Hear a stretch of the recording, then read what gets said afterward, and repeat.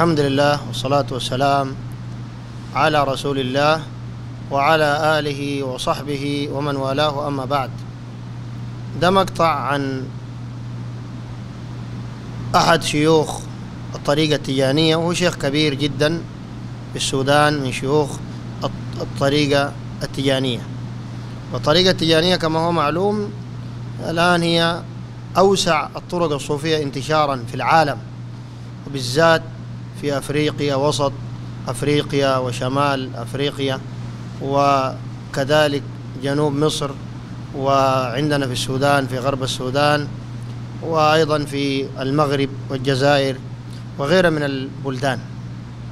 وهي طريقة ضالة ضلال مبين وضلال بعيد عن صراط الله المستقيم. في المقطع ده شيخهم ده واقف في قبر أحمد التجاني ومعه مجموعة من الصوفية التجانية يستغيثوا بالشيخ أحمد التجاني ويدعوه من دون الله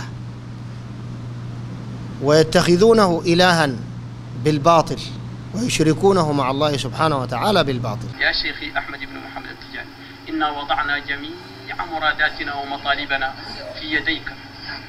ما ذكرناه وما جرى على قلوبنا وما كتبته أقلامنا جميعه ما لم يكن فيه معصية. وضعناه في, في يديك ومرادات إخوتنا الذين الذين جئنا نمثلهم وننوب عنهم جميعا. يا شيخنا وضعناها في يديك. فحققها لنا ضمانا مؤكدا منك. يا شيخي أحمد التجاني إني قد وضعت يدي إني قد وضعت نفسي ووالدي وأبنائي وأشقائي وشقيقاتي وجميع الذين أخذوا عني وجددوا عني وضعت, وضعت جميعنا أمانة في يديك. حتى تسلمنا لجدك النبي الحبيب داخل الجنة.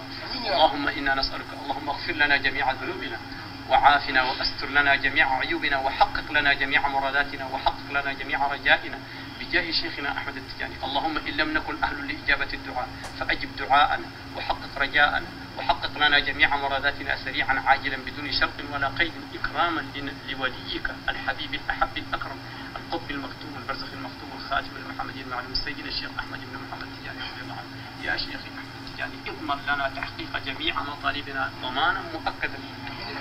حضروا نواياكم سرا لعل الناس عندهم نوايا. وحكم هذا الكلام شرك بالله. لأن ربنا سبحانه وتعالى قال وقال ربكم ادعوني أستجب لكم. إن الذين يستكبرون عن عبادتي سيدخلون جهنم داخرين. فسمى الله سبحانه وتعالى الدعاء عبادة. ومن عبد الله فقد وحده ومن عبد عبد غيره فقد أشرك وكفر بالله سبحانه وتعالى. وأيضا يقول الله جل جلاله ذلكم الله ربكم له, له الملك والذين تدعون من دونه ما يملكون من قطمير. يعني اللي بتدعوهم من دون الله ديل كان أنبياء كان رسل كان ملائكة كان المهم إنس أو جن أو كانوا صالحين أو أولياء. ربنا قال ما يملكون من قطمير. هؤلاء المدعوون من دون الله. إن تدعوهم لا يسمعوا دعاءكم الله قال ما بيسمعوا. ما بيسمعوا دعاءك أصلا. ولو سمعوا يعني لو فرضنا إنهم سمعوا لكن هم ما بيسمعوا. ولو سمعوا ما استجابوا لكم. ويوم القيامة يكفرون بشرككم. شوف ربنا سمى دعاء غير الله شرك. إذن البدع غير الله سبحانه وتعالى مشرك. والشرك ده أعظم ذنب. لأن ربنا سبحانه وتعالى قال إن الله لا يغفر أن يشرك به ويغفر ما دون ذلك لمن يشاء. ومن يشرك بالله فقد ضل ضلالا بعيدا. والمشرك ما بيدخل الجنة الجنة عليه حرام.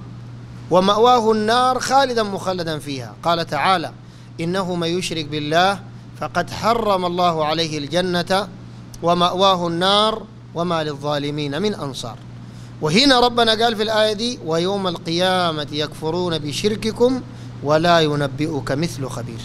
سبحان الله القرآن واضح. وينهى عن دعاء غير الله ويجعل ذا شركا بالله وهو أعظم ذنب عصي الله به في الأرض.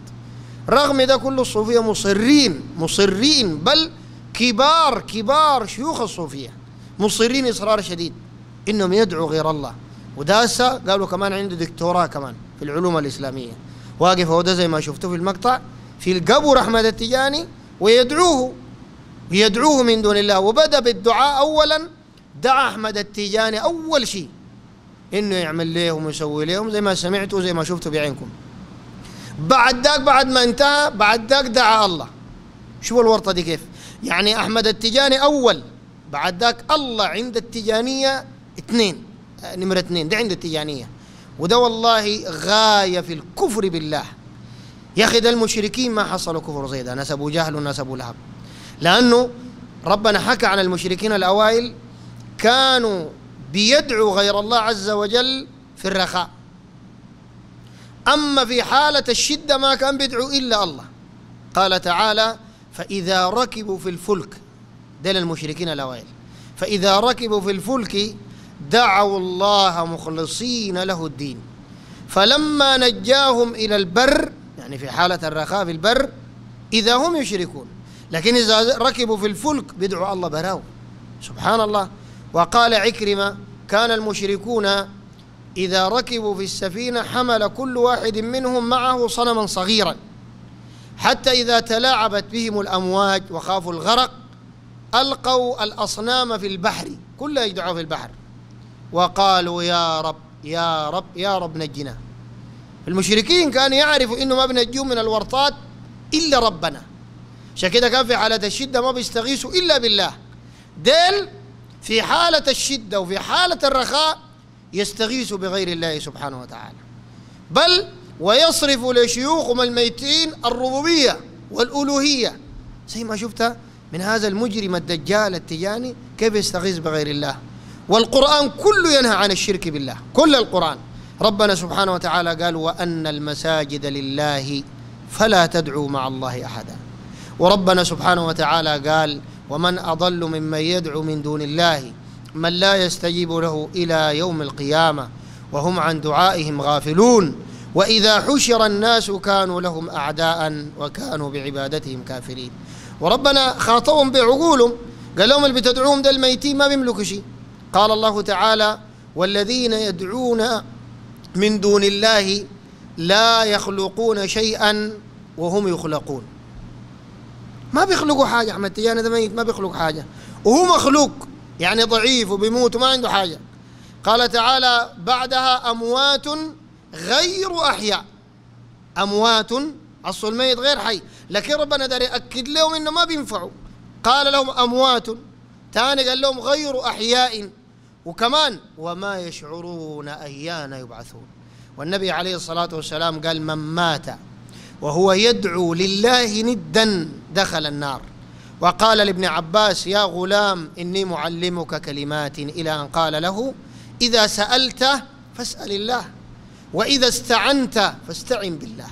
هذا وصلى الله وسلم وبارك على نبينا محمد وآله وصحبه.